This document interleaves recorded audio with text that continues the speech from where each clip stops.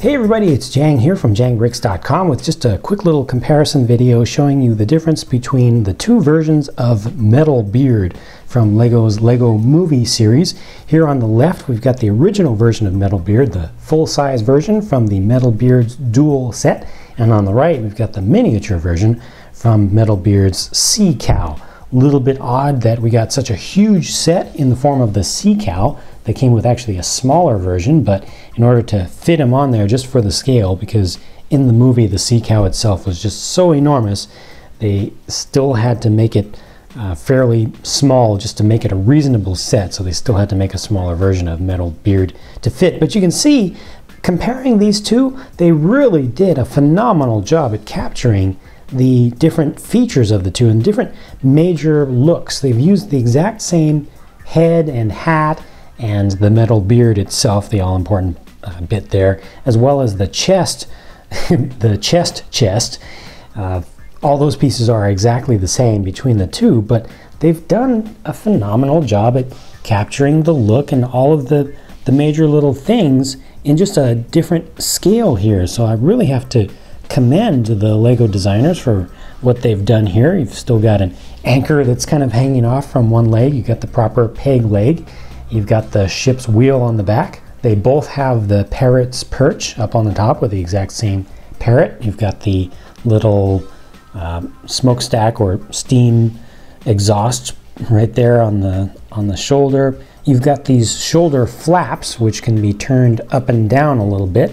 And in both cases, it's a little bit more fragile here, but in both cases, the movement there allows you to get more articulation out of the arms. So those actually move up to just kind of get out of the way of things a little bit to allow you to move the arms up more than if they were just in a static location. See, that would have stopped that on both models. So that's nice how that worked out the same. Unfortunately, you can't shoot the cannons over here. You don't even have kind of a flick fire missile set up, but still comes out working about as good as it can in the scale. The shapes down here are the same, got the same colors uh, and color positions used between them. Got this little extrusion for the kind of the middle toe there.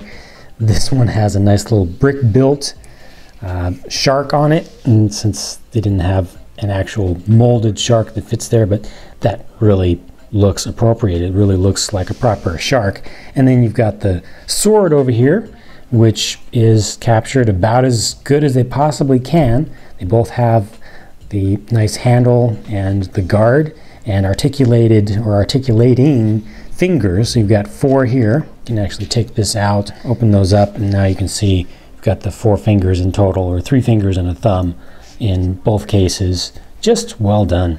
It's really good timing that they got the new style of, of uh, joint pieces just in time for this set to come out. Basically, same joints that are used for Mixels and also the uh, Legends of Chima legend beasts, and I'm sure they'll be using those in many more sets that really allowed this to work very easily with a simple and fairly durable construction. I mean, a lot of bits of this smaller version are actually more play durable than the equivalent pieces over here. So that's really a testament to the design of these new pieces. They just work out really well. It's a shame that we weren't able to use this same version of Metal Beard in the Sea Cow, but the little version I think is pretty worthy and does good justice to the original. That's it for this video. Thank you very much for watching. Hope that had some interesting information for you, and I hope that you'll come back for more videos to come because I've always got new ones on the way. You can follow everything that I do that's brick built set related at the blog at jangbricks.com, and I'll be talking to you again very soon.